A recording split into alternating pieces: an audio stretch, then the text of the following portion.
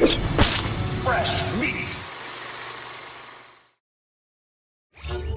I've made this claim before and I'll make it again. When your horror series gets into the double digits or close to it, you're gonna have a couple black sheeps. When talking about something as iconic and long lasting as Friday the 13th, there are more than a couple that fit the bill. Trust me, just look at these ranking lists. But I've always had a childhood love for the Friday movies. Jason Voorhees is one of the big three, and because of this, eh, the fan base can be a bit much. So let me clarify my stance. Jason Voorhees is my favorite, yet I've never found him scary. I don't know, I was probably around seven when I first saw these movies.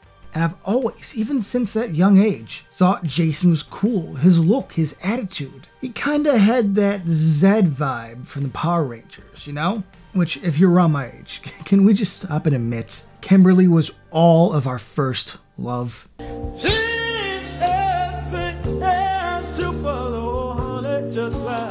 But the point is, is that I've always rooted for Jason. I've said it before, I'll say it again. And never the teens.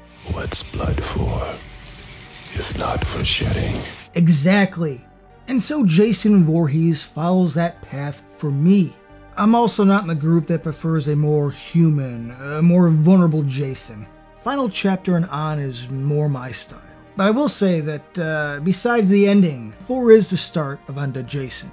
You see, I want him to be unstoppable. I want my Voorhees to have an aversion to doors.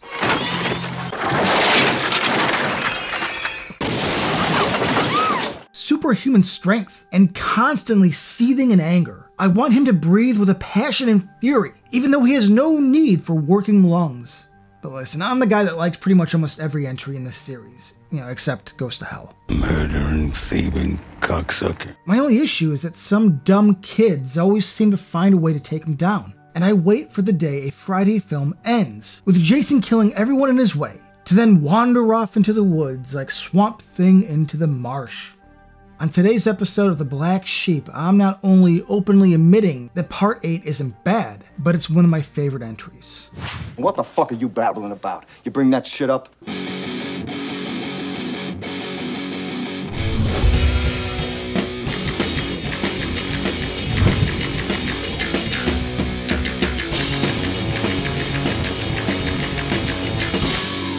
Want to thank you guys for watching The Black Sheep and ask that if you enjoy our shows, please subscribe to our channel right now. Like this video and click on the bell so you can be notified each time a new video goes up. And now back to the show. Now, by the time Part 8 rolled around, the popularity with this series was running a bit thin. This one was kind of seen as a goodbye chapter in a way. And they did try ending this with Part 4 of the final chapter, so, you know, never say never. But Paramount had had its fill and, frankly, was never proud of the series anyhow. Yeah, it made them bank, but they always viewed it as beneath them. Executive producer Frank Mancuso Jr. has said that the series came with a negative connotation. People claim that its violence contributed to that of the real world. And bullshit. But for the movie itself, the one thing that gets brought up the most in terms of uh, negative impact is that Part 8 doesn't really take Manhattan as much as it pops in for 10 minutes to say hello. And yeah, as much as I love this entry, I can't argue that we were sold a bag of goods that was different as advertised. And this was no fault of director Rob Hedden.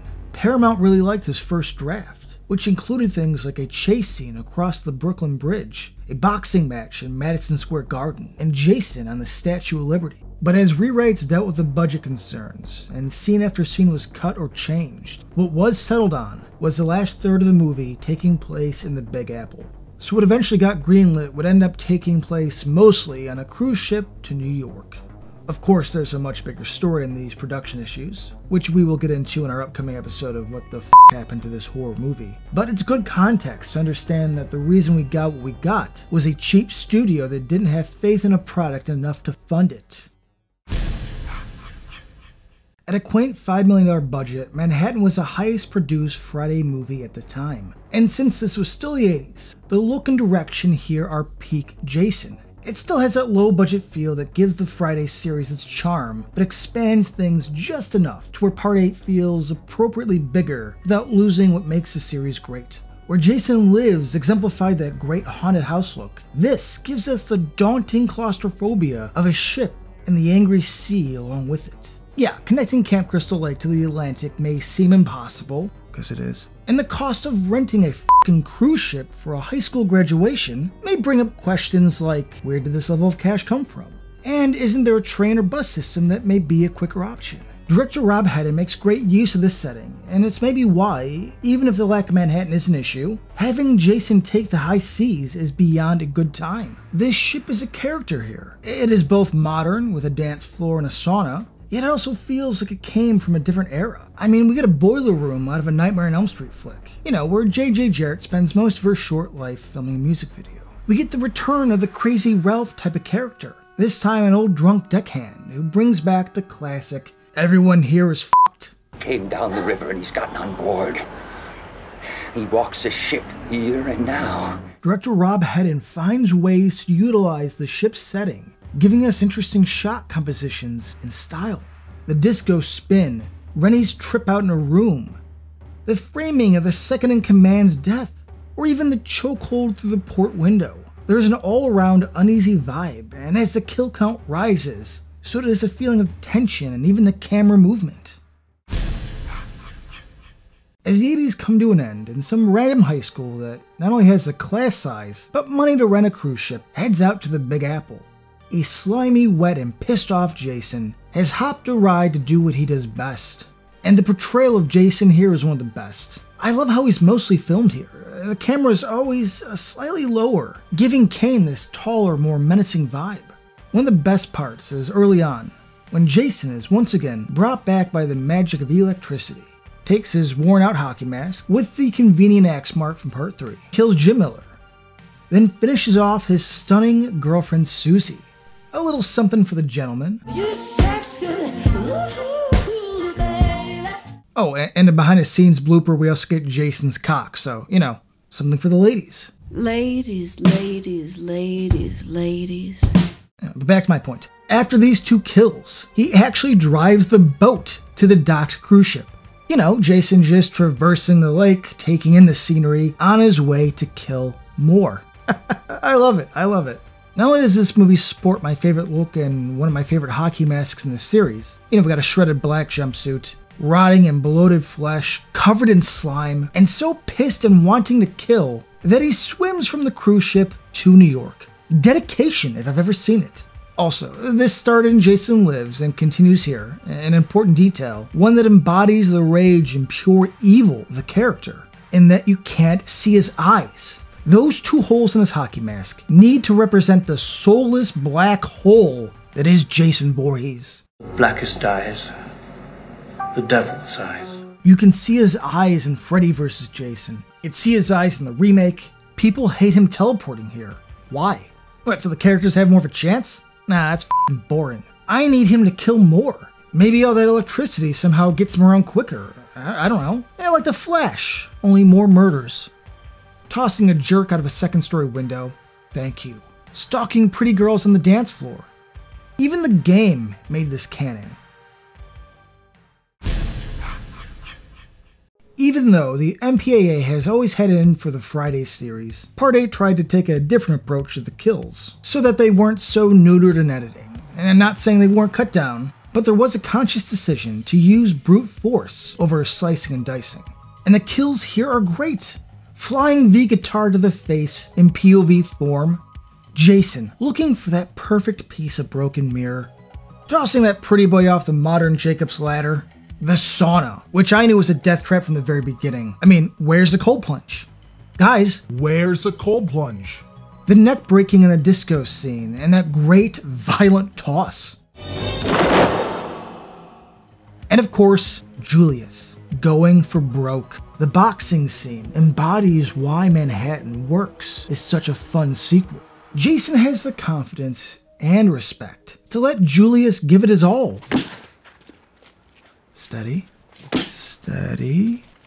Wait for it. Steady.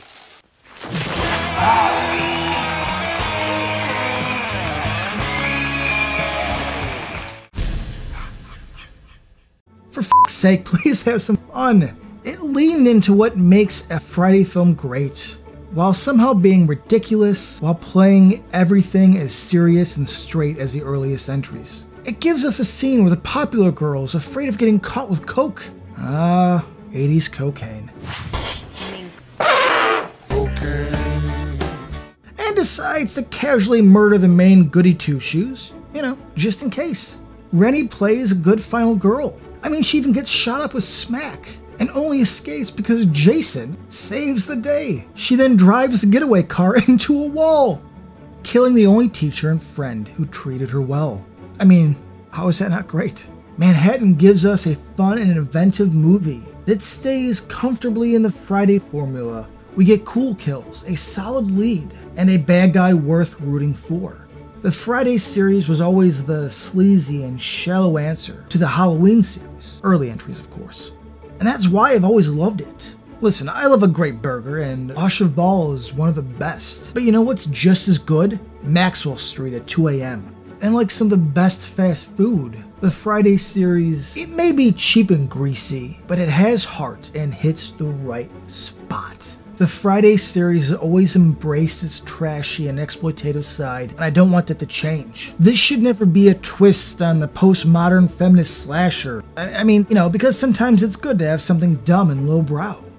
And regardless how you feel about the later sequels, can we at least admit the Friday series has never needed to be hip with a missed place trick, Trick or or treat. treat, motherfucker. Praise the Lord. The New York part may be underutilized and stripped down because the cheapskates at Paramount. But even the most hardened purist, who only likes parts 1 through 4, can admit Jason on the subway or Jason in Times Square is something else. Iconic, menacing, and all around cool. A series that has always been exactly what it needed to be, and one that understands the fans better than most. And so, let's get together and pour a little something in dedication to one of the best villains in horror history. A man who has brought us all together, friends and family. Mr. Jason Voorhees.